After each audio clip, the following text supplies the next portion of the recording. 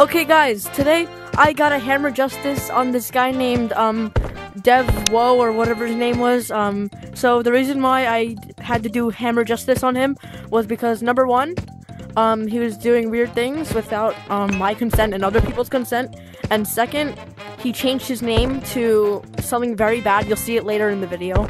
And number three, he broke another rule right here where it says just have a name. He just removed all the letters, and I told him to change it back. I did give him warnings before I did the hammer justice. You'll see that I gave him warnings.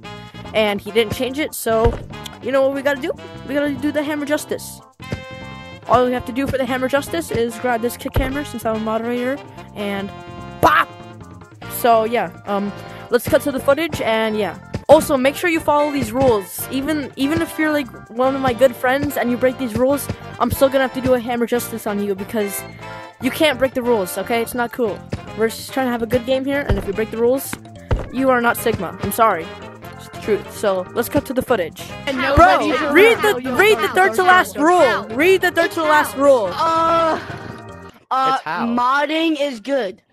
Bro, no, no, no. Just, just please change your name to back. The please change your name.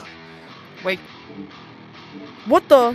guys, We- can we just what do if this we again? do one? Oh, yeah, just Put your name back. No, no, no. Please put your name back. Listen, There's listen too to much us. We No, Dude, this dude, dude, rule. Dude. I need, I need this. drama. No.